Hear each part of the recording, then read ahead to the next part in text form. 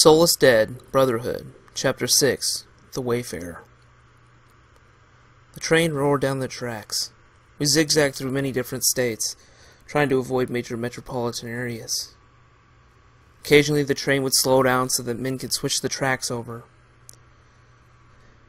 Sometimes we'd leave the door open to the pitch we had set up for us. I'd sit like a hobo with my legs dangling outside the rail car, looking out in the scenery.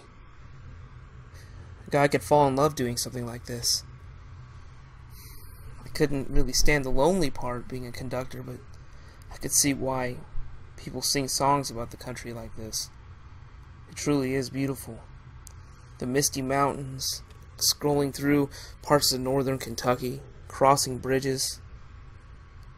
It was definitely something you could get used to, and it took the mind off of the turmoil that was happening in the real world. We were always within shooting distance of the road at times. I can't say always. Sometimes we'd zigzag through parts of the mountains and parts of plains and just forested areas. On occasion, when we were looking out the car, we would see tents and small campsites set up, cars ravaged, things scattered all about, the dead, or what were people alive, tangled in tent wreckage, blood everywhere. Some would shamble towards us, but our moving juggernaut could not be stopped. It sure was beautiful. I felt so safe, and I know I'm dating myself, but it was a great idea. We'd seen no kind of anything on the rails. It was a surprise. It was really good. It was good not to be worried about the dead getting at us or even worse people coming after us. The train was fairly quiet, and when we didn't have the horn blowing, we didn't have to alert anybody of our presence. As a matter of fact, Trevor completely disengaged it completely. We didn't want to run into any situation where someone would accidentally blare it and alert all of God's green earth that we were coming down the rails. Night times were especially peaceful. It was crazy. Everything was just so at ease. The wind would blow through the trees along the train tracks. You could see the grasses growing along the sides. It was cool. You'd throw a blanket on, you'd be absolutely comfortable. Now I can see why a lot of the hobos would do it. What a life it would be. An awesome life. Peaceful one at that. Not a worry in the world. Even when the dead would show up on the tracks, we'd just plow right through them. We wouldn't even feel it. It would literally just be like someone passing through air. Didn't affect the track any, and we just kept moving forward. The days passed, and they began to bleed together. Began to be a little spoiled of what was going on around the world. Definitely something that somebody like me couldn't be accustomed to anymore. On the third night, we were woken in our sleep. Trevor had came along the catwalk on the side of the engine, back towards us. He hollered back, We're almost to Kansas City according to the GPS inside the engine. Just thought I should come back and tell you guys. Keep quiet. We're gonna shut off the, the lights on here, and we're gonna coast on in quiet like. If y'all make any noise, it could alert anybody to our situation. Trains are a little loud. We don't want to run any kind of risk. The men called back, Okay, okay, we understand. Keep your eyes open and your mouth shut. Keep those guns up. We're heading toward a train depot uh, on the Kansas side, okay? Uh, when we hitch up, we get moving south, we're gonna have to stop for a little bit. Stay near the car. We don't know who's watching there. I've worked there before. I've run trucks there. There's a lot of gang problems. Biters aren't going to be the only thing we need to worry about, he called back. We all nodded. One of the soldiers stood up. The sergeant. All right. You guys know the deal. We need to keep quiet. If you do need to get out, bathroom break, stay close to the car. Okay? Keep your heads down. We're going to be exposed there for a little while. That rail yard's probably quite large. Kansas City's a pretty big city. We don't want to run any risks of getting shot at. God knows what's going on there. We don't know. But we do need to be cautious, understand? We all agreed. Understand, he said one more time. Okay, okay, everybody said. Trevor came back a few minutes later. Alright, we're almost there, he called out. Alright, you know the plan. Shush, he called out to us. They shut off the lights and began to coast in.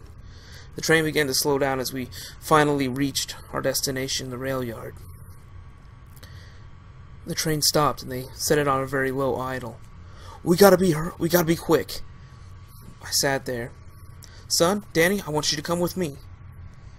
Uh, you soldiers, uh, sergeant, take your men. Once you guys set a perimeter, look around in this general area, no more than a hundred yards in all directions. Once you guys set up, look for some stuff. If you can't run into any trouble, you head back here as quietly, as quickly as possible. Danny, Martha, come with me. We're going to go over to that junction house over there. See that one right over there? He pointed. It was a junction house. It probably had maps and setups. It's probably where the main conductor of the area moved people around. We're going to get some maps. We're just going to be sure. We're going to get a schematic of where we need to head, what rails we need to be on. Let's hurry up. Trevor grabbed his rifle. My dad grabbed his handgun, and they loaded it up. We need to hurry. Son, stay low. Why am I coming with you? He stopped for a minute and looked around. We just want to be safe. The families over there are going to take care of the train. Let's just be careful. We got inside. We set up a lantern, and Trevor pulled out a small flashlight. Okay, okay, he said as his teeth would grit, holding in the flashlight. We need to move this way, uh, towards Lawrence, maybe? No, that's a big town, my dad said. Hey, there's a, there's a small, uh, a small town there. Maybe we can get some supplies. Or maybe get shot by Hicks. My dad said. My mom looked at it. Oh, it's in the, it's in between. What's, what's it called? Uh, Perry. It's, it's near a lake. Maybe we can get water. No, no, look, look, look, my dad said, pointing at the map. The lake's too far off from the rails. We'll, we'll pass through it. Well, well, God forbid, let's just head through there. That's one of the quickest ways. We cut through Lawrence, head down through Perry, and then head directly south. That's what we need to do, towards Wichita. That's what you said. Maybe people will have information. And what if they don't? We'll plow through the damn town. They park a car, worst they can do, we'll just blast right through it. Are you sure? Yeah, sure, sure. We'll, we'll get right through there. It takes some doing to stop that train anyway. We got plenty of fuel. We can go back to Wichita and back at least twice. Fine. Look around for anything else. Uh, my mom was looking around inside the drawers. I found a couple lighters. Good, we could use those. Anything else? We're going to take these maps and schematics. Come on. We quietly snuck our way back to the, the train after we turned off all of our lights. One of the men raised his gun. We could hear it cock. Who's there? It's us, you idiot. Hey, you told me to watch the train, one of the men said. All right, how's everything? I, I haven't heard anything. It's been pretty quiet. There's been some gunshots in the horizon, though. A little unsettling. There's a lot of folks here. We need to get going. How's the train? Is it still going? Of course. You listen. The train was in a very low hum. Okay, okay. How's everybody doing? Have the soldiers made it back? Not quite. I I haven't heard anything. I'm sure they're getting stuff, though. All right. Uh, well, just get into the back of the train, my father said to the man. Load everybody back up, Martha. Make sure they get back in there. Dan, you, you come up front with us, okay? You sure, Dad? Yeah, sure I will. You're still a kid. It's a train. Um, okay, I said. Come on. We climbed up inside the engine and set the lantern on the top. The electrical lights were still running because of the diesel engine, so we really didn't have to worry about lighting the room. We turned on the small area lamp and then shrouded the windows. We don't want anybody seeing that there are lights on over here, understand, son? Keep down, keep low. We were all we were squatting on the floor. We didn't want people to shoot us from the glass surrounding the cab. They put the map on the floor and rolled it out, and set some heavy stuff on top of it. Here's where we need to go. Yeah, I agree, my dad said. He pointed towards Perry. There's a cross switch. We'll just head down south. We'll get out of the way. This is one of the safer ones. We don't want to head towards Western Kansas. There's just nothing out there. We couldn't survive. Fine. Let's just do it. All of a sudden, we heard a lot of gunshots. Rhythmic rat-a-tats. Guns firing in several areas. We could hear the families in the back screaming, What's going on? One of the men ran up. We could hear him knocking on the window with his hand. We pulled the glass back. What's going on out there? The guns became more rhythmic. Rat-a-tat, rat-a-tat. We could even hear the bullets bouncing off the engine itself. Large metal dings were going off. What's going on? One of the men was holding a hand over his head, ducking down, trying to say, that Something happened. The soldiers are they're engaging somebody. We can't see that far out. It's too dark. fine, fine. Uh, get get the people in the trailer. Um, Dan, stay here. Uh, Trevor, stay in the train. I'm coming with you, man. We don't want to, we don't want you going out there. Look, Trevor, they need you more. Dad, don't go. Son, stay here. Trevor said, Don't worry. I'll watch him. My dad pulled out his handgun. He stepped out the front door. What's going on? I could hear him say as the window was open. I kept my ear close to it. You could hear people yelling, There's some bitches trying to attack us! It was one of the soldiers' voices. We got shot. Uh, gang members. I don't know. We can't really tell. It's too dark. I could see fire from the tips of the barrels coming out, people firing on us. We need to be careful. What's happening? One of the kids got hit. He's dead. Another woman got shot. She's bleeding really bad. Load them into the dang thing. Come on. I could hear my dad holler. One of the men came up behind my dad. I screamed out the window, Dad, look out! He turned around and put his elbow into the man's face. He hit against the side of the engine. My dad put the gun to the back of his head and shot top of this piece of his skull came off, splattering against the glass, and some of it even getting and misting us inside the window. Oh my god, I said as I fell to the ground. Boy, stay down! Trevor poked his shotgun through the, wall, the window. Shot a man coming up. Got that son of a gun. Alright, Dan, see that little throttle piece over there? I want you to slowly push it forward. One click, one Mississippi. You see what I'm saying? Yeah, sure, I said as I crawled over there, wiping blood off of my face. I could hear the men firing. Just go! Just go! How many of you are left? I could hear my dad yelling over the sound of the engine roaring up. I, there's only two of us left. We'll hold them off. Are you sure? You get that son bitch rolling and get it out of here, I heard one of the soldiers yell. Thank you. The two men crawled through the front door. The engine was starting to go. Are you sure? Uh, uh, just, just stay here. There's women and children. We've already lost two people. We don't want to lose any more. What about your men? I've lost a couple. This, let us just do our job. The soldier ducked out the, the front door and then continued to go outside. We could hear firing. My dad pushed me aside, blood all over him. Get out of the way, Danny. And stay down! Trevor, how are we looking? Trevor poked the gun outside the window, shooting again. They're coming over. Those soldier boys are dug down next to a couple steel barrels. We'll give them some cover. The firing continued. It was absolute turmoil. I was curled up in a corner, covering my head, screaming. My dad put the throttle down on the, the train. The engine roared, the diesel plumed from the top. We could smell the fumes. The train started to lurch forward and we started to pick up speed. One of the men tried to get through the front door and my dad placed the handgun through the broken shot-out glass, shooting the man in the face. He fell to the ground and fell off the train. I hope it I hope you get run over, you son of a bitch, my dad called.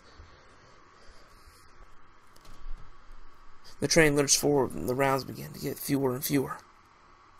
Hop on the train! Trevor yelled out.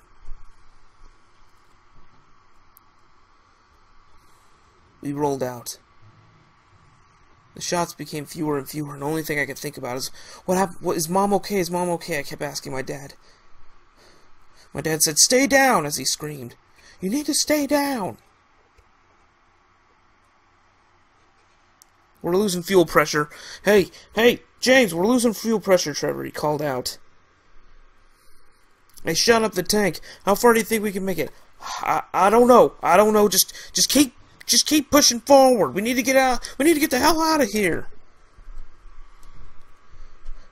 We sped through the countryside on the rails for what felt like hours into the night. My dad was still breathing heavy. Trevor, wiping the blood off his face with a neck neckerchief, started laughing.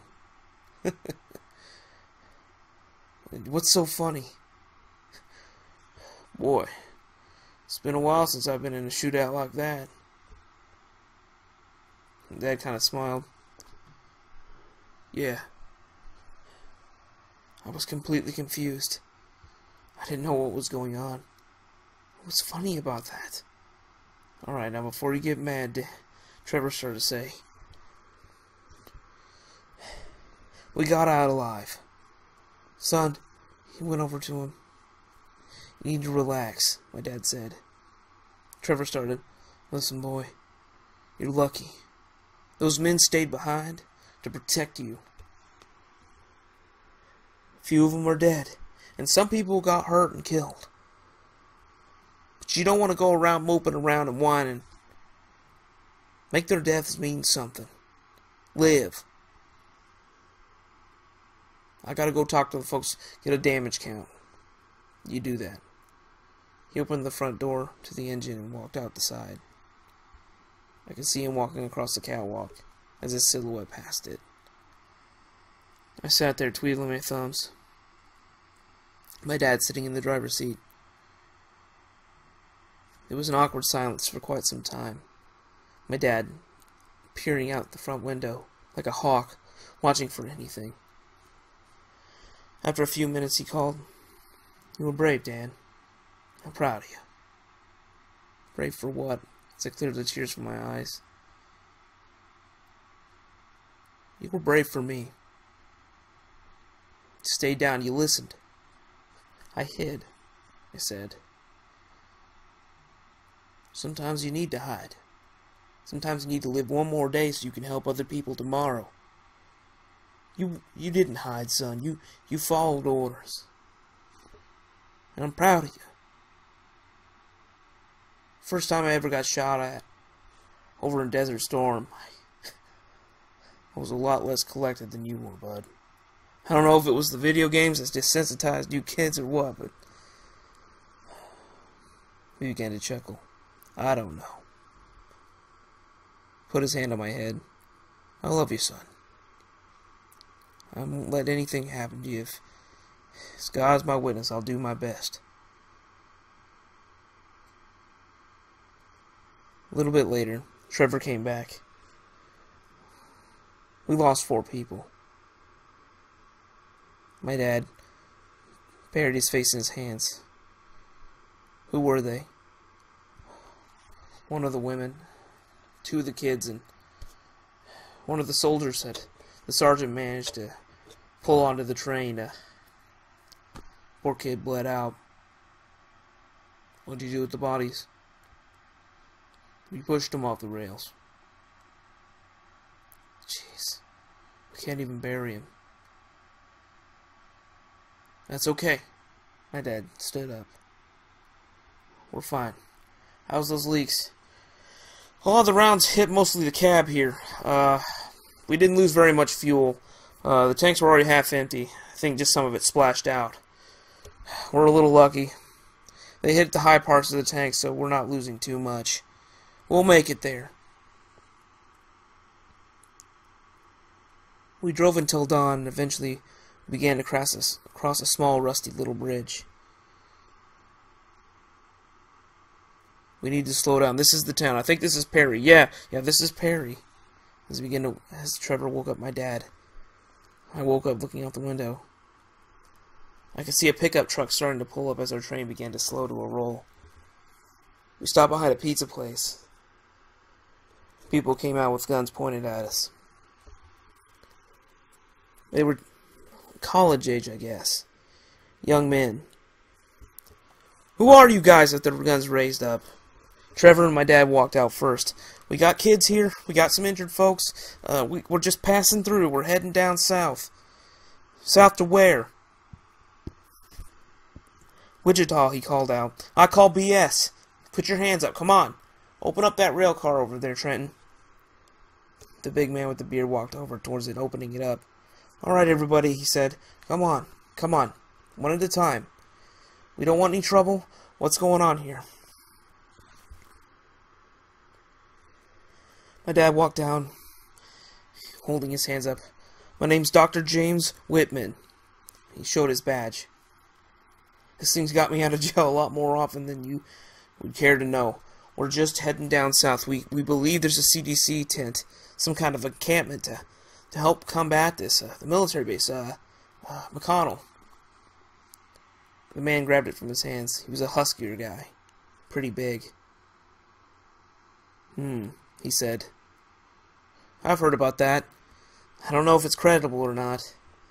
You're the first bit of folks we've seen come through here. We have the highway shut down. We blew them up to where people couldn't pass through them. Dynamite, and then we parked some trucks, so you guys are the first bit. Pretty damn ingenious using the rails. It was my boy's idea as I came out from behind him. This is Daniel. He's he's my son. He squats down. So you're the mastermind behind all this? I'm pretty dang impressed. Have you had any of the dead? My dad said. He looked at him, squinted for a moment. Not really. One or two old folks. They they pass away from the stress of the situation, but nothing nothing too bad. It was pretty rough at first, but we figured out you bashed your head in, we don't have to worry about it. Three towns around here have congregated around here. We've made this town pretty dang defensible.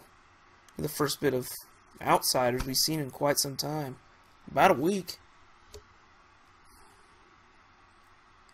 Okay, my dad said. Well, we're heading south. Could you allow us through? Stay here for the night. We'll, we'll patch up best we can for those people. If you're a doctor, we'll give you guys time to get through this.